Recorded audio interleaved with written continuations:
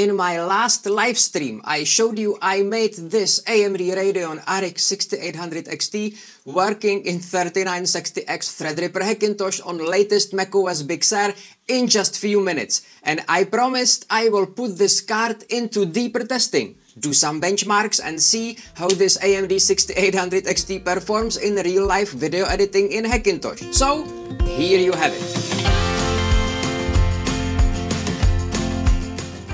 Hi, if you are new here, I'm Teresa from Morgonaut.cloud and I provide personal individual support with Apple Mac, Windows, Linux and server builds. So if you would need any help, just join my website membership. Link is in this video description and I will personally help you one-on-one while Skype video call and remote session directly to your computer in front of your eyes.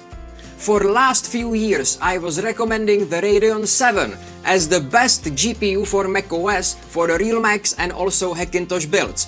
Did it change now with the arrival of new wave Big Navi GPUs? Spoiler alert, yes!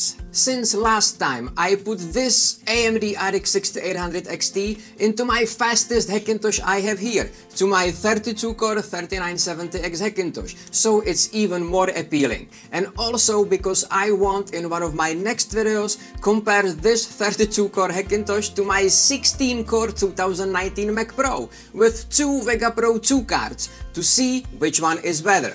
Of course, the Mac Pro is 6 times more expensive, but Will it also deliver 6 times better performance? If you wanna see it, subscribe to my YouTube channel so you will not miss it. Okay, so this card is relatively lightweight. It's a bit lighter than my Radeon 7 cards, which is good news because it will not sag so much and don't rip off the PCI Express slot so easily. Another finding, this card has a dual 8-pin power connector, which I had connected on a single power supply cable. Wrong! If you can, always be sure you connect each 8 pin from separate cable from PSU. During my tests, if I had it connected with two 8 pins on a single cable, it was shutting down my computer despite I have very good 1200 watt Corsair PSU. Once I connected two separate 8-pin cables, all was fine. In currently latest macOS Big Sur 11.4 Hackintosh, the fan start-stop feature is working perfectly. On idle or low load, the fans are completely off. They will start to spin only if you will do more intensive tasks. During all my tests, from time to time the fans went to higher speed. It was noticeable with open case side panel, but absolutely not as loud as my 2019 Mac Pro fans. I like this card. The only thing which bothers me is the fact it is 2.5 slot wide.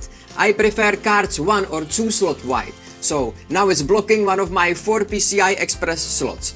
Other than that, I'm really nicely surprised by the 6800 XT in my Hackintosh.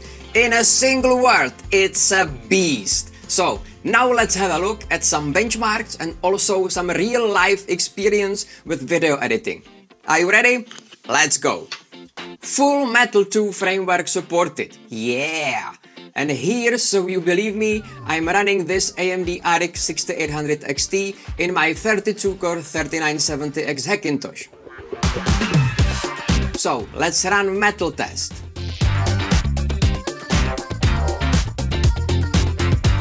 Oh my lord! 178,799 score. My Vega Pro 2 card with 32 gigs of memory in my 2019 Mac Pro has 101,000 with the same version of macOS Big Sur. That's crazy. My Vega is $5,600. I get this 6800 XT for 2 grand, which is still extremely overpriced these crazy days, but it's still almost 3 times cheaper and has almost double the performance. What the hell is going on here? By the way, link to this score you can find on this video description, so you can compare it to your own results easily. Okay, next benchmark I'd like to show you is the Blackmagic Raw Speed Test. I shoot on Blackmagic 6K camera, so it's relevant for me.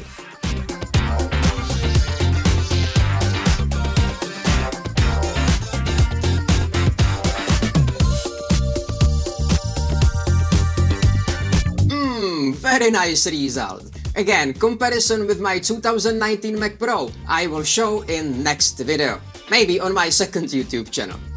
Okay, now Luxmark. 55,804 Lux Ball scene score. 43,462 Neumann scene score. And 10,809 lobby scene score. Okay, now let's go to the GFX bench test running metal of course.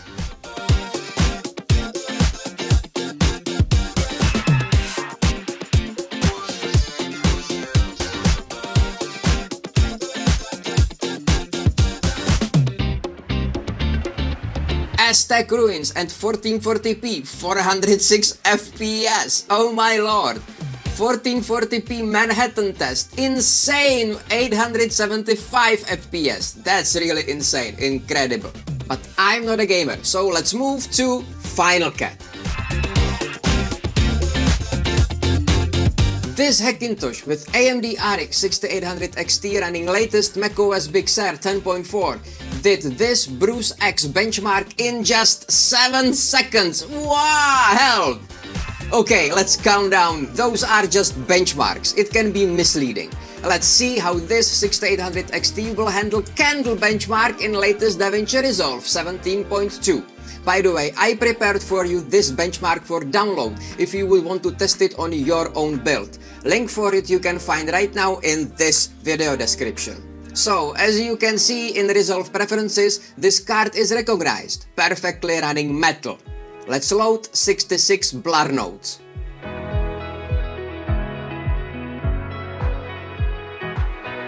Twenty-five, twenty-eight, twenty-seven FPS. Okay! Now let's load 6 temporal noise reduction nodes. What? 35, 36, 34? What the hell? That's insane. Okay, but that's still not the absolute real life test, so I decided to run it on one of my past projects, real video editing and render test. Full 4K timeline with 6K Blackmagic RAW footage, some 4K ProRes and H.265 files. And this project is in 4K HDR. Scrubbing in timeline is lightning fast, extremely responsive. For best performance, I export the final render to a separate 970 Pro NVMe disk.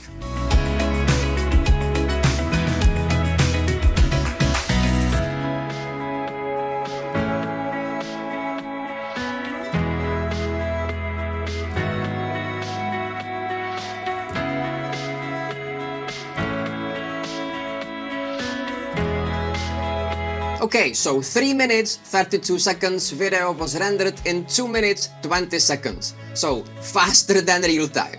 Is it better than my 2019 Mac Pro? Subscribe to my channel to see it. Okay, so overall, this card feels to me like a lightning from heaven. If there would not be all cards so overpriced, it would be absolutely steal deal for its performance. But wait, Despite the extreme prices these days, it's still amazing deal. The best deal. For macOS, this is currently the best card you can get. The 6900 XT is just a little bump in performance, but huge jump in price. So this AMD Radeon RX 6800 XT is the card I will from now recommend to all people who want the best performance for their Hackintosh on a real Mac. Speaking of Mac, don't forget, if you would need any help with Apple Mac, Windows, Linux or server build, just join my website membership, link is in this video description. And I will personally help you while Skype video call and remote session directly to your computer in front of your eyes. Make sure you click the subscribe button below, hit the bell next to it and choose all notifications so you won't miss any of my future videos. So, I hope I made your day again a little better. If so, please click on the like button below and click also the share button so it can help to more people and that will in return also help to this channel and help me to produce for you more interesting videos in future. So, that's all for today. Thank you for watching, take care and see you by my new video or live stream. Bye bye my Hackintosh friends.